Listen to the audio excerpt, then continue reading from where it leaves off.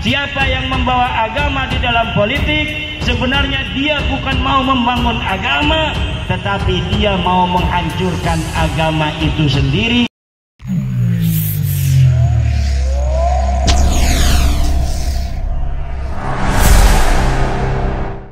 Assalamualaikum warahmatullahi wabarakatuh. Selamat datang di Tinta Nusantara. Di sini saya akan berbagi video-video masih seputar tentang nasab para habaib di Indonesia yang diteliti oleh Kiai Haji Imaduddin Usman Al-Bantani. Titik kegagalan nasab para Habib Ba'alawi Yaman. Yuk kita tonton sampai selesai video-videonya biar tidak salah faham ya. Semoga dengan penjelasan ini kita bisa faham dan semoga bermanfaat dan barokah amin. Tapi jangan lupa subscribe dan like channel ini, supaya tidak ketinggalan video-video terbaru dari Tinta Nusantara. Kami dari channel Tinta Nusantara minta maaf apabila video ini menyinggung perasaan Anda. Terima kasih telah menonton video ini. Saran dan kritikan Anda saya tunggu. Selamat menyaksikan. Titik kegagalan nasab para Habib Ba'alawi Yaman. Dalam sebuah artikel, disebutkan banyak orang Yaman yang disambungkan ke Imam Ali Al-Uraidi terutama kepada Sayyid Ahmad bin Isa bin Muhammad bin Ali Al-Uraidi. Dan banyak perbedaan tentang nasab Ahmad bin Isa ini. Tetapi mereka semuanya sepakat tidak ada anaknya yang bernama Abdullah atau Ubaidillah dalam seluruh kitab nasab primer sebagaimana diperinci di atas. Padahal banyak orang Yaman yang mengklaim dirinya dan disambungkan dengan Ubaidillah ini. Justru, yang memungkinkan nama Abdullah ini adalah saudara dari Ahmad bin Isa itu sendiri, dan bukan anak. Berikut ini saudara Sayyid Ahmad bin Isa yang memiliki nama Abdullah Ubaidillah. Abdullah al-Ahnaf, Ubaidillah al-Akbar, Ubaidillah al-Ahwal, Ubaidillah al-Asgor. Saudara Ahmad bin Isa disepakati ahli nasab hanya tujuh yang berketurunan. Yang memiliki anak hanya yang bernama Abdullah al-Ahnaf, yaitu Ismail, dan tidak ada yang bernama Alawi. Awal penyebutan nama Ubaidillah baru di pertengahan abad 10H. Oleh Muhammad Al-Madani mengarang kitab berjudul Tuhfatut Tolib. Berikut ini kami hyperlink ke konten tersebut. Dari sini jelas gagal atau sangat diperdebatkan tentang sebuah nama Ubaidillah bin Ahmad, karena nama Ubaidillah ini baru muncul hampir 700 tahun kemudian, yang dicantolkan ke seseorang misterius yang diklaim Ba'alawi sebagai datuknya yang bernama Ahmad bin Isa.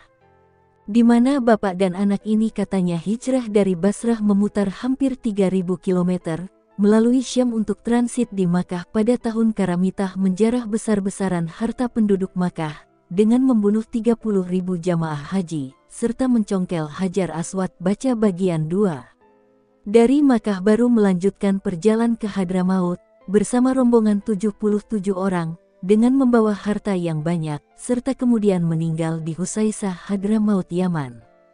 Pepatah mengatakan, suatu kebohongan yang diulang ribuan kali, lama-kelamaan akhirnya akan menjadi sebuah kebenaran. Sebagai tanggung jawab semua pihak yang mencintai saudaranya, klaim sesat seperti ini harus diingatkan. Harapannya yang diingatkan juga bisa menerima dengan legowo dan lapang dada. Karena klaim seperti ini selain dosanya sangat besar juga secara langsung menodai kesucian Rasulullah itu sendiri. Dalam sebuah artikel yang lebih rinci, klaim hijrahnya Datuk Ba'alawi ini disebut sebagai menganyam ilusi atau cerita palsu. Dengan menyebutkan banyak kejanggalan-kejanggalan yang menyertainya. Berikut ini kami hyperlink ke konten tersebut. Kesimpulan 1. Ahmad Al-Abah Anafat bin Isa Al-Husaini tidak pernah hijrah ke Hadramaut Yaman. 2. Nama Ubaidillah sebagai anak Ahmad bin Isa yang menurunkan anak bernama Alawi, datuk penisbatan Bani Alawi bin Ubaidillah atau Ba'alawi adalah gagal dan fiktif. 3. Kajian sejarah, kajian kitab nasab, dan kajian genetika menunjukkan bahwa Ba'alawi secara logis telah galal sebagai keturunan Nabi Muhammad Sallallahu Alaihi Wasallam. Sehingga wajar tidak ada satupun nakobah, pencatat nasab Nabi di dunia ini, yang mau memberi isbat dan syahadah nasab kepada mereka, termasuk nakobah Yaman dan Irak. Demikian, sebelum kami akhiri bagian ketiga atau terakhir dari tulisan ini, kami mengajak seluruh anak bangsa agar mencermati hal ini demi meluruskan sejarah dan kesucian seluruh agama di negeri ini. Dengan alasan, agama itu suci, dari Tuhan yang Maha Suci, menurunkan ajaran yang suci, firman yang suci, dibukukan dalam kitab yang suci, dan tentu saja melalui nabi, manusia yang suci. Barang siapa menisbatkan pada hal-hal di atas dengan dasar yang salah, apalagi demi kepentingan yang sesat, maka pada hakikatnya, dia adalah musuh semua agama di negeri ini. Marilah menjadi orang baik, yang pandai, berakal sehat dan berilmu. Sebagaimana Hadrotus Syaikh Hashim Asyari bertutur, tidak ada kebaikan sama sekali dalam suatu negeri ketika para generasinya tidak pandai, dan bangsa tidak akan menjadi baik, maju dan berperadaban kecuali dengan ilmu. Lubnah Istiqlal Indonesia, Beirut, Darus Sadik, 1391 Hijriah, 1971 dalam cetakan pertama, halaman. Titik. Ba'alawi tidak akan pernah merasa legowo. Secara jelas dan sohih jikalau hasil daripada pembahasan polemik nasab ini kita sudah bisa mengambil kesimpulan dan juga pembelajaran untuk ke depannya kalau seumpamanya ada yang salah meskipun derajat dia lebih tinggi ataupun lebih segala-segalanya dari kita tetap harus ditegur agar bisa menjadi muhasabah diri kalau kita hidup di dunia cuma sebentar, dan agar tidak mengulanginya lagi dan agar bisa memperbaiki akhlak kita. Ketika kita dianugerahkan pangkat maka itu tanggung jawab yang harus kita pikul sampai kita mati dan bukan malah jadi seenaknya.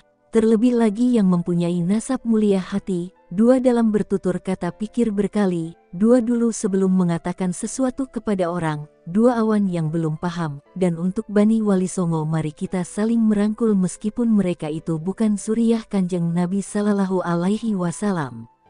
Bagaimanapun mereka tetap saudara, dua kita seiman dan mereka juga seorang ulama pewaris Nabi Sallallahu Alaihi Wasallam. Dan siapa pun itu asal muasal keturunan siapa pun itu mari kalau ada yang menegur kita tentang kesalahan kita, Mari kita terima dan anggaplah kalau teguran itu dari Allah Subhanahu wa Ta'ala melalui makhluknya agar kita lebih berhati. Dua karena sudah dipercaya oleh Allah Subhanahu wa Ta'ala dan Rasulnya sebagai menerus pembawa risalah tentang keimanan di dunia.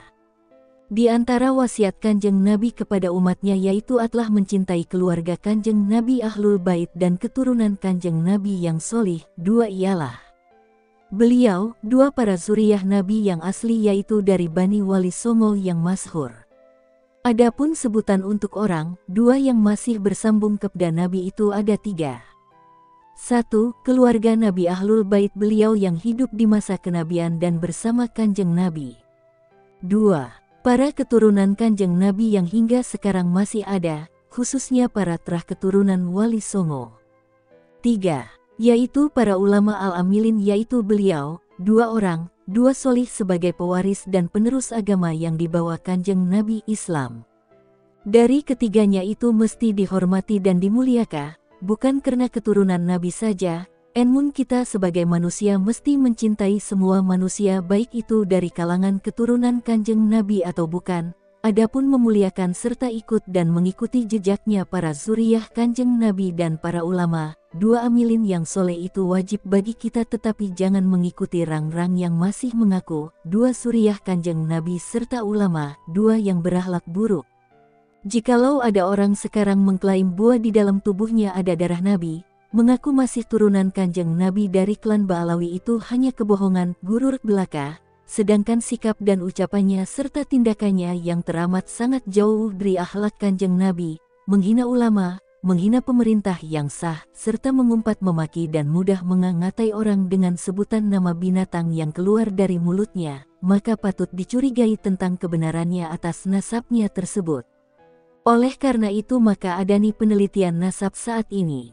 Itu jeng merasa terusik baik mereka, dua oknum yang ngaku, dua jadi keturunan kanjeng Nabi atau para kata, dua para muhibin penggemarnya itu juga harus dipertanyakan tentang ucapannya. Hadapilah dengan ilmu pengetahuan atas orang, dua yang sedang bahas nasab itu, dengan mengajukan data, dua yang dia agung, duakan dan mitai agar bisa untuk menjelaskan ketersambungan nasabnya orang tersebut atas keakuannya sebagai zuriyahnya kanjeng Nabi di hadapan orang, dua tersebut dengan jelas dan sohi. Jika mereka tidak bisa menjelaskan hal nasabnya tersebut maka jangan diikuti jadi jangan marah. 2. Esmosi, lalu tebar fitnah sana fitnah sini, itu kurang baik, dan untuk para muhibin yang masih berkeyakinan jika mereka itu adalah para zuriyah kanjeng Nabi, monggo boleh menanyakan langsung pada orang yang kalian anggap sebagai muhibin tentang nasabnya dan ketersambungannya dia terhadap kanjeng Nabi, jangan asal ikut rubuh gedang Tokyo saja jeh. Edukasi hikmah nasihat Quran dan Secara jelas dan sohih jikalau hasil daripada pembahasan polemik nasab ini kita sudah bisa mengambil kesimpulan dan juga pembelajaran untuk ke depannya kalau seumpamanya ada yang salah meskipun derajat dia lebih tinggi ataupun lebih segala-segalanya dari kita tetap harus ditegur agar bisa menjadi muhasabah diri kalau kita hidup di dunia cuma sebentar, dan agar tidak mengulanginya lagi dan agar bisa memperbaiki akhlak kita.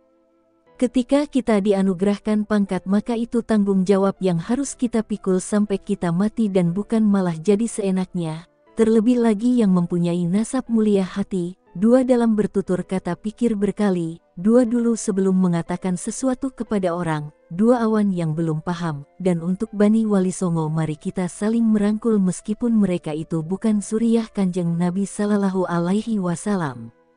Bagaimanapun mereka tetap saudara, dua kita seiman dan mereka juga seorang ulama pewaris Nabi Sallallahu Alaihi Wasallam.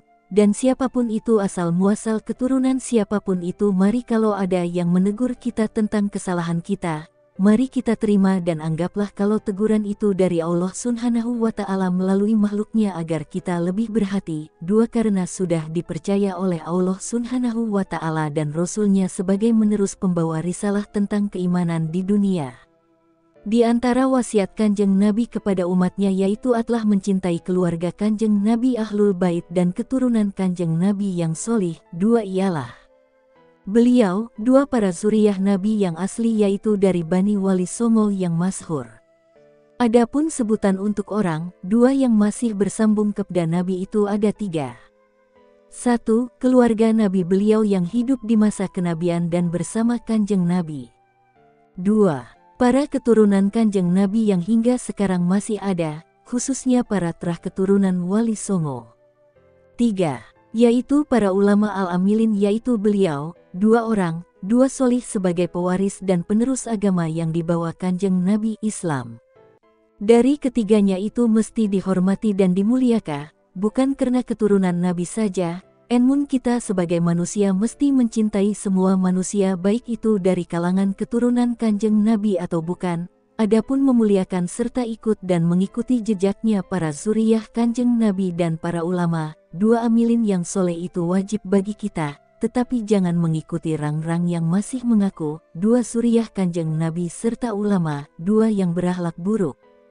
Jikalau ada orang sekarang mengklaim buah di dalam tubuhnya ada darah Nabi, mengaku masih turunan kanjeng Nabi dari klan Ba'alawi itu hanya kebohongan, gurur belaka, sedangkan sikap dan ucapannya serta tindakannya yang teramat sangat jauh dari akhlak kanjeng Nabi, menghina ulama, menghina pemerintah yang sah, serta mengumpat memaki dan mudah mengangatai orang dengan sebutan nama binatang yang keluar dari mulutnya, maka patut dicurigai tentang kebenarannya atas nasabnya tersebut.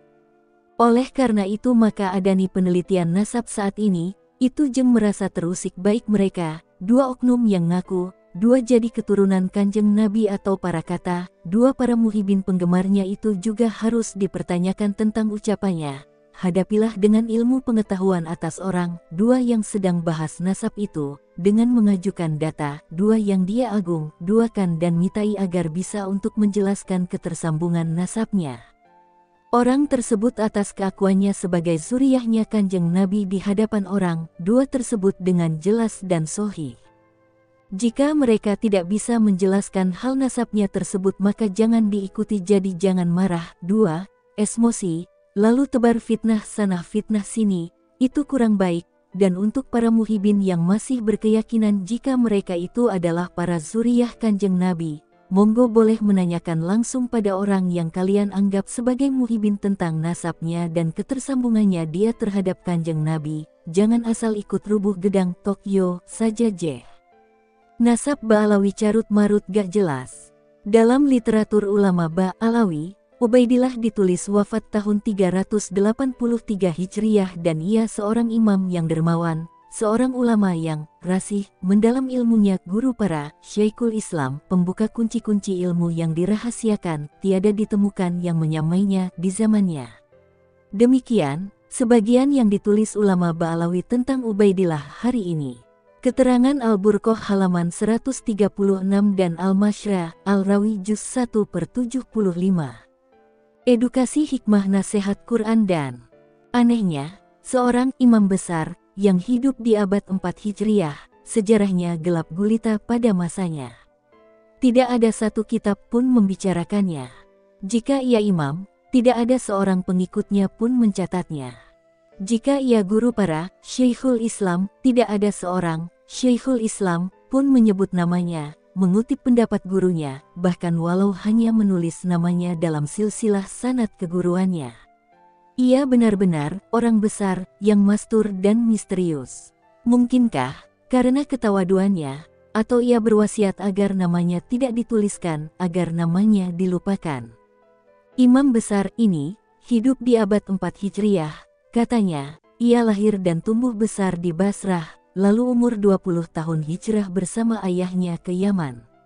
Di abad itu, di Basrah dan di Yaman, puluhan kitab ditulis, ratusan ulama hidup bergaul satu dengan lainnya, namun, di antara mereka, seorang pun tidak mencatat interaksinya dengan Ubaidillah. Ke manakah Ubaidillah sang imam besar ini bersembunyi? Apakah ia memang sosok historis? Atau ia hanya tokoh fiktif? Kemudian, Fiksi sejarahnya ditulis tanpa proses heuristik, lalu diletakkan begitu saja dengan ditenagai oleh kalimat denotatif dan diksi glorifikatif, ekspresif dan plastis, sebagai pelengkap dari runtutan teks sejarah yang terputus. Nama Ubaidillah dan biografi hidupnya baru muncul 512 tahun setelah wafatnya. Sosoknya pertama kali dimunculkan oleh Habib Ali Al-Sakran W. 895H bukan hanya menyebut nama dalam rangkaian silsilah, Al-Sakran, bahkan telah berhasil mengungkap ketokohan Ubaidillah. Sesuatu yang tidak diketahui oleh ulama yang hidup sezaman atau berdekatan dengan Ubaidillah. Ia dapat diketahui oleh Al-Sakran tanpa sumber-sumber pendukung apa pun. Al-Sakran adalah pionir dalam meruntut sejarah Ubaidillah dan sukses menjadikannya sebagai sosok menyejarah. Ulama-ulama Ba'alawi masa kemudian, seperti Abu Bakar al-Idrus Ba'alawi, wafat 914 Hijriyah, Muhammad Hirid Ba'alawi, wafat 960 Muhammad bin Abu Bakar Ashili Ba'alawi, wafat 1093 Hijriyah, Muhammad Dia Shihab Ba'alawi, ketika mengungkap sejarah Ubaidillah, akan mengutip tulisan Al-Sakran dalam kitabnya Al-Burqoh Al-Mushikoh. Masalahnya, Lalu dari mana Al-Sakran mengutip biografi Ubaidillah itu, setelah sebelumnya tidak satupun orang menyebut sejarahnya selama 512 tahun? Mungkin tradisi lisan. Tradisi lisan berbeda dengan sejarah lisan. Sejarah lisan merupakan salah satu sumber sejarah, sejarah yang dilisankan oleh pelaku sejarah. Sedangkan tradisi lisan adalah cerita yang diungkapkan secara beruntun melalui lisan. Penutur tidak mengetahui apakah cerita ini fakta atau rekayasa. Tradisi lisan tidak dapat disebut sebagai fakta sejarah, tidak dapat dibedakan darinya antara mitos dan kenyataan, banyak bermuatan mistik yang tidak masuk akal, dan sifat subjektivitasnya masih sangat mendominasi. Ubaidillah bagi Ali Al-Sakran, apakah ia objek tradisi lisan yang dituliskan, atau justru ia sebuah karya baru yang diciptakan sebagai sumber masa selanjutnya? Sebagai perbandingan, kita mengenal biografi para wali songo, Sunan Bonan misalnya, ia sebagai tokoh historis didukung oleh sumber-sumber sejarah primer dan atau sekunder, misalnya buku Primbon Sunan Bonang, yang berangkat tahun 1597 Masehi. Buku itu dijadikan tesis oleh ilmuwan Belanda, yaitu B.J. Oskrieke dengan judul Headbook van Bonang, Wejangan Sunan Bonang tahun 1916. Buku itu hanya berjarak 72 tahun dari wafatnya Sunan Bonang pada tahun 1525 M, tentu angka tahun itu sangat dapat merekam kejadian sebelumnya dan masih sangat dapat dipertanggungjawabkan. Lutfi Yahya mengklaim jika Nu berdiri berkah jasa daturnya. Sudah berapa banyak kebusukan dan kejahatan yang dilakukan atas nama nasab sanat dan artifak sejarah yang mereka belokkan. Sampai juga mereka Membelokkan sejarah Nu setelah sukses membelokkan sejarah dalam bukunya yang beredar dalam kurikulum pendidikan pelajaran kemerdekaan di sekolah-sekolah SMP SMA sederajat. Sementara itu Dinas Pendidikan pun tak ada reaksi dan tanggapan yang terjadi pada saat ini, sangat disayangkan sekali. Jika generasi kita kelak harus menerima pendidikan sejarah yang sudah terbelokkan oleh klan Ba'alawi Yaman, Lutfi Yahya, sekarat dan tidak manusiawi, Entah bertujuan apa mereka itu, Bani Yahya sehingga membabi buta dan tamak, rakus serta jahat sekali dalam berkeinginan untuk menguasai negeri ini. Berapa banyak lagi nantinya yang akan mereka balawikan dan mereka klaim. Budaya sejarah dari negeri kita ini. Lalu apa yang kita harus lakukan, di saat ini untuk menjaga dan melestarikan budaya peninggalan sejarah para leluhur kita ini? Ataukah kita hanya tinggal diam saja? Di saat mereka, Bani Yahya, sedang asyik dan gencarnya merubah dan merusak sesuatu yang menjadi dasar peninggalan sejarah itu agar menjadikan generasi anak bangsa tahu sejarah dan tahu perjuangan para leluhurnya. Oleh karenanya bismillah mari kita jaga dan kita perjuangkan budaya sejarah peninggalan para leluhur kita, apa pun itu. Mari kita lestarikan. Jangan sampai mereka merusak dan mengalihkannya begitu saja tanpa kita sadari negeri kita ini sedang dalam kejangkit virus rayap putih. Yang menggerogoti budaya serta sejarah perjuangan para leluhur kita, adapun mengenai sejarah Nu yang semestinya insya Allah saya tuliskan di bawah ini, adapun kekurangannya agar para masyah dan mujtahid sejarah memberi masukan yang lebih benar lagi. Sejarah Nu, Nahdlatul Ulama sebagai negara dengan penduduk beragama Islam terbesar di dunia, Indonesia memiliki cerita tersendiri soal organisasi-organisasi Islam yang berkembang. Termasuk kehadiran Nahdlatul Ulama, NU, sebagai organisasi Islam terbesar di Indonesia yang memiliki sejarah panjang dalam pengaruhnya bagi penganut Islam di tanah air. Banyaknya perbedaan ideologi dan arah politik dalam agama di Indonesia, menjadi tanda munculnya sejarah Nu yang lahir pada tanggal 31 Januari tahun 1926 atas nama kaum tradisionalis dalam menanggapi fenomena yang ada di dalam dan luar negeri, khususnya di dunia Islam. Inilah jawaban untuk umat Islam atas fenomena yang terjadi di dunia Islam dan Indonesia akan berpartisipasi dan memperkuat peringkat rekonstruksi nasional. Nama Nahdlatul Ulama berasal dari bahasa Arab, yakni Nahsoh yang artinya berdiri atau bergerak. Nama Nahdlatul Ulama menginspirasi ulama kuno. Nahdlatul Ulama adalah organisasi kemasyarakatan dan keagamaan dengan simbol-simbol yang menjelaskan tujuan dasar dan cita-cita keberadaan suatu organisasi. Lambang Nahdlatul Ulama diciptakan oleh Kiai Haji Ridwan Abdullah setelah proses kontemplasi dan hasil doa istiharoh sebagai pemimpin Allah Subhanahu wa Ta'ala. Nahdlatul Ulama lahir pada tanggal 31 Januari tahun 1926 sebagai perwakilan ulama tradisionalis yang mendapat bimbingan ideologis dari Ahlus Sunnah wal Jamaah, yakni tokoh-tokoh seperti Kiai Haji Hashim Asyari, Kiai Haji Wahab Hasbullah dan para ulama lainnya ketika upaya reformasi mulai meluas. Meskipun terorganisir, mereka sudah memiliki hubungan yang sangat kuat. Perayaan seperti Hail, peringatan wafatnya seorang kiai, yang kemudian mengumpulkan masyarakat sekitar, para kiai dan mantan santrinya hingga sekarang masih dilakukan secara rutin di beberapa wilayah di tanah air. Substansi dan ideologi Nahdlatul Ulama, NU Dalam sejarah NU, penciptaan Nahdlatul Ulama tidak dapat dipisahkan dengan dukungan ajaran Ahlus Sunnah wal Jamaah Aswajah.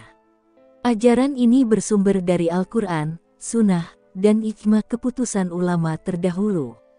Kias atau contoh kisah Al-Quran dan hadith menurut Kiai Haji Mustafa Bisri memiliki tiga substansi di dalamnya, yakni sebagai berikut.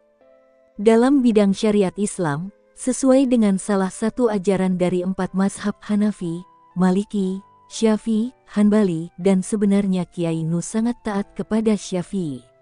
Saya sekolah. Dari perspektif tauhid ketuhanan, saya akan mengikuti ajaran Imam Abu Hasan Al-Mati Ali dan Imam Abu Mansur Al-Maturidi. Dasar-dasar Imam Abu Qasim Al-Junaidi di bidang tasawuf proses mengintegrasikan ide-ide Sunni berkembang. Cara berpikir Sunni di bidang ketuhanan bersifat eklektik, memilih pendapat yang benar. Hasan al-Basri seorang tokoh sunni terkemuka dalam masalah Qadariyah dan Qadariyah mengenai personel, memilih pandangan Qadariyah.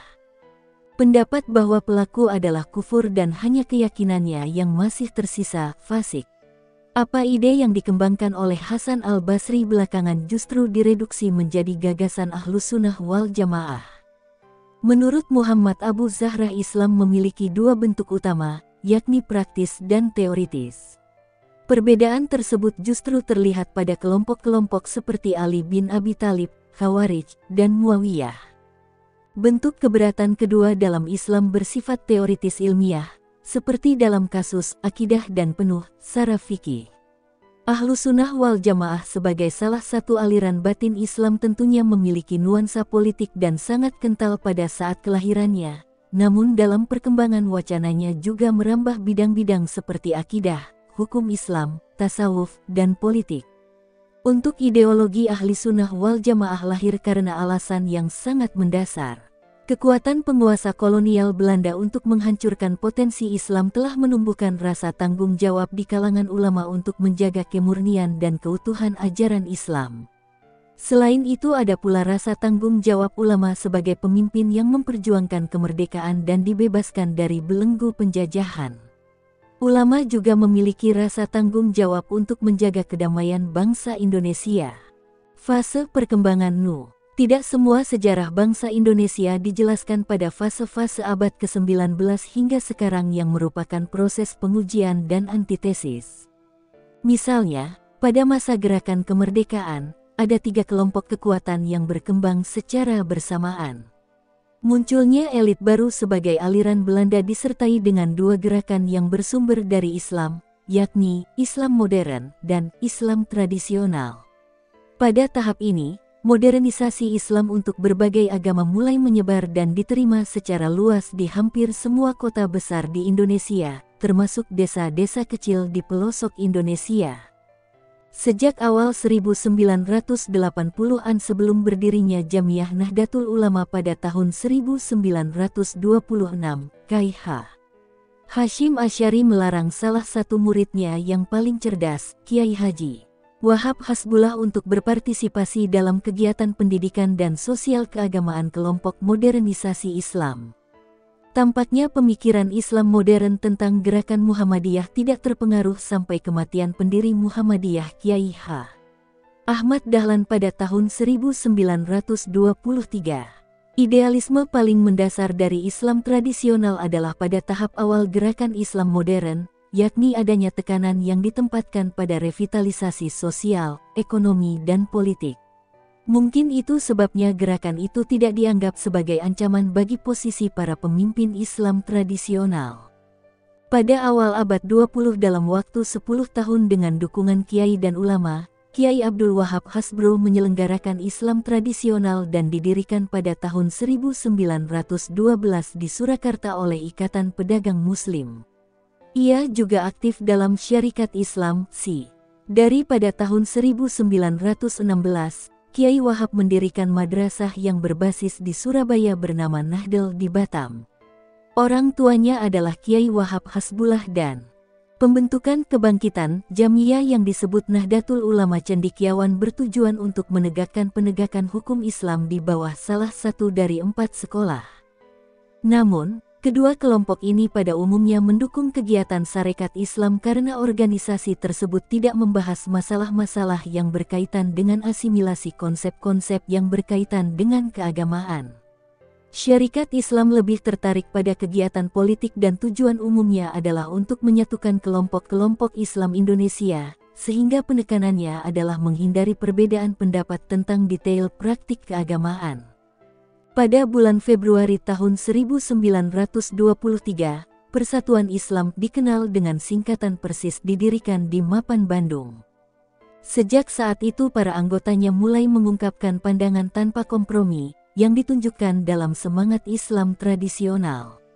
Pada saat yang sama, persatuan Islam dapat memenangkan empati banyak intelektual Islam. Buah semangat persis masyarakat Islam memiliki pengaruh yang kuat terhadap pembentukan ideologi keagamaan dalam masyarakat Islam sejak tahun 1923, termasuk perjalanan sejarah Nuh.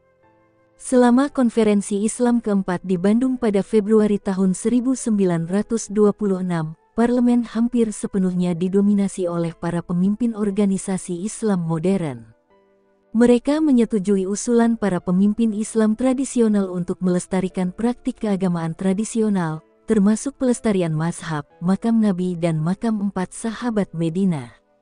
Alhasil, kiai dan ulama diajar langsung oleh Kiai H. Hashim Asyari sangat mengkritik Islam modern dan telah mendirikan Jamiah Nahdlatul Ulama sebagai medan pertempuran bagi para pemimpin Islam tradisional sejak didirikan pada tahun 1926. Tujuan berdirinya NU, pengaruh Nahdlatul Ulama sangat besar di kalangan kiai dan ulama di Jawa bagian timur dan tengah, serta masyarakat umum. Seperti statuta Nahdlatul Ulama, perumusan pada tahun 1927, organisasi tersebut bertujuan untuk memperkuat kesetiaan Islam kepada salah satu dari empat mazhab dan untuk melaksanakan kegiatan yang bermanfaat bagi para anggotanya sesuai dengan ajaran Islam. Kegiatan utama organisasi NU adalah sebagai berikut. Memperkuat persatuan di antara sesama ulama yang masih setia pada ajaran mazhab. Memberikan bimbingan tentang jenis-jenis buku yang diajarkan oleh lembaga pendidikan Islam. Penyebarluasan ajaran Islam atas permintaan empat mazhab. Meningkatkan jumlah madrasah dan organisasi. Mendukung pembangunan masjid, langgar dan pesantren. Membantu anak yatim dan fakir miskin.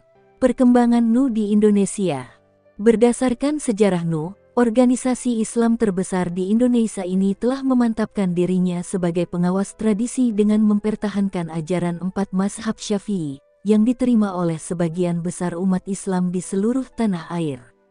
Selain itu, NU memberikan perhatian khusus pada bidang-bidang yang berkaitan dengan kegiatan ekonomi, seperti kehidupan pemilik tanah dan para pedagang. Sebenarnya, Nahdlatul Ulama, salah satu organisasi masyarakat ormas terbesar di Indonesia dari komunitas Islam yang ada sejak kelahirannya di tahun 70-an. Selain itu Nu juga selalu menekankan pentingnya menjaga dan menghormati kekayaan budaya Nusantara. Terinspirasi dari tipikal tudingan terhadap Wali Songo yang berhasil menghubungkan bidang agama Islam dengan wilayah budaya. Dalam praktiknya Nu berwajah familiar atau muda, sebagaimana diakui oleh seluruh masyarakat. Untuk menghindari pendekatan negatif memerlukan dorongan dari dua hal yang sangat dibutuhkan dalam konteks pluralisme, yakni, pertama, melekatnya identitas nasional karena mereka mengikuti jalur budaya dengan karakter pluralistik. Komunitas budaya jarang merasa bahwa keberadaan mereka secara langsung atau tidak langsung terancam. Dari sinilah muncul aturan hukum Islam, al-petik terbalik ada muhakamah. Ini memberikan peluang besar untuk mengubah tradisi apa pun menjadi bagian dari hukum Islam. Kecuali ibadah mahdah, seperti salat atau puasa, kegiatan budaya sangat mungkin dianggap sebagai kegiatan yang dipaksakan secara agama jika berperan dalam mendukung prinsip-prinsip Islam dan setidak-tidaknya kegiatan budaya tersebut tidak dilarang kecuali mengganggu kemanfaatannya. Oleh karena itu, kehormatan Islam di Indonesia selalu didukung dengan cara yang dapat diterima oleh kelompok lain, meskipun secara statistik dikategorikan mayoritas dan tidak dipaksakan oleh kepentingan masyarakat dan penindasan atau penolakan keberadaannya. Langkah-langkah ini dapat sangat membantu dalam mendukung upaya untuk memantapkan identitas nasional bersama. Kedua, pengembangan nilai-nilai kemanusiaan yang tidak bisa dipungkiri bahwa kemunculan Islam yang toleran secara tidak langsung berdampak positif terhadap upaya penegakan nilai-nilai kemanusiaan jika dibandingkan dengan sikap tegas beragama yang dapat membahayakan hak asasi manusia. Mudah memicu kekerasan agama dari keringnya keterlibatan Islam yang memonopoli kebenaran dan menunjukkan kelemahan iman. Toleransi, di sisi lain, tampaknya menjadi bukti keutuhan pemahaman agama yang diyakini menjadi berkah bagi semua. Pada akhirnya, sikap pemaaf yang muncul dari kesadaran untuk memahami perbedaan dan keragaman budaya merupakan salah satu landasan kokoh dalam berpikir, bersikap, dan berperilaku yang lebih peka terhadap nilai-nilai kemanusiaan.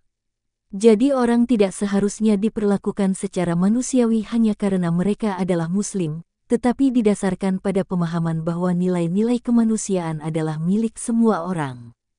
Nahdlatul Ulama menjadikan dirinya sebagai organisasi sosiologis dan keagamaan dalam menjawab permasalahan bangsa. Bukan seluruh sejarah negara Indonesia, Nahdlatul Ulama telah melalui tahap yang berkembang dari akhir abad ke-19 hingga saat ini. Ini adalah proses pengujian dan antitesis. Pada masa pergerakan kemerdekaan, oleh karena itu, diperlukan pemahaman tingkat berikutnya untuk menelusuri dan memahami sejarah Nu yang panjang dan sangat berpengaruh pada perkembangan negara Indonesia Pulau. Berikut ini fase atau kondisi organisasi Nu dan kaitannya dengan Indonesia dalam sejarah Nu. 1. Nahdlatul Ulama sebelum kemerdekaan. Sebelum kemerdekaan, Nahdlatul Ulama berkembang sebagai organisasi yang disegani oleh penjajah sangat memungkinkan kekuatan ulama dan anggota NU untuk menjembatani kepentingan Islam dan negara Indonesia saat itu yang telah menjadi pilar pengantar lahirnya Negara Kesatuan Republik Indonesia. 2. Nahdlatul Ulama di masa kemerdekaan Periode Orde Lama NU memutuskan menjadi partai politik semata-mata karena berkonfrontasi dengan komunis. Kekuatan komunisme sebagai partai politik membutuhkan pola yang sama. Nahdlatul Ulama akhirnya mampu mempertahankan dasar Pancasila dengan suara lantang. Masa Orde Baru karena kebijakan pemerintah yang kuat, posisi Nu adalah ulama, bersama kelompok Islam lainnya, kembali sebagai kelompok sosiologis dan religius, kemudian sepakat untuk membentuk Partai Persatuan Pembangunan PPP. Secara sosial merupakan kepedulian Nafatur Utama dan secara politik merupakan Partai Nahdlatul Ulama. Pada masa reformasi pola politik Nu mulai berubah. Nu telah sepakat untuk kembali ke Hitah. Nahdlatul Ulama Nu adalah organisasi yang murni sosiologis dan religius, menjaga jarak dengan partai politik yang ada. Oleh karena itu, Nahdlatul Ulama bukan milik siapa pun, melainkan milik potensi negara Indonesia. Nahdlatul Ulama sebenarnya berdiri dalam sejarahnya sebagai bentuk reaksi eksternal gerakan pemurnian dan berdirinya organisasi ini tidak terlepas dari peran kiai, wakil utama kelompok Islam tradisionalis, dan komunitas pesantrennya.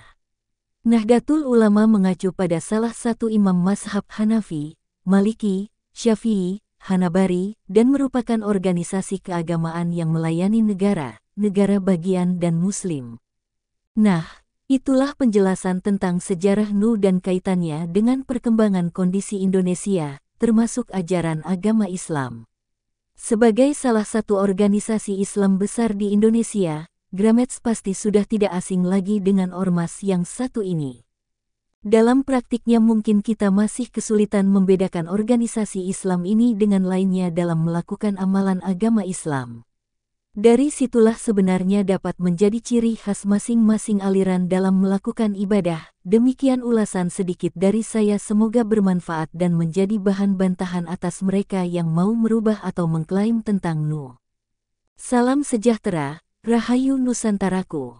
Wa alahu a'lam bi'al bisawab. Demikian video saya hari ini. Semoga bermanfaat untuk teman-teman semua. Apabila video ini ada salah kami mohon maaf yang sebesar-besarnya. Komentar dan saran Anda saya tunggu. Demi kebaikan kita bersama. Tapi jangan lupa subscribe dan like-nya supaya tidak ketinggalan video-video terbaru dari Tinta Nusantara. Wassalamualaikum warahmatullahi wabarakatuh.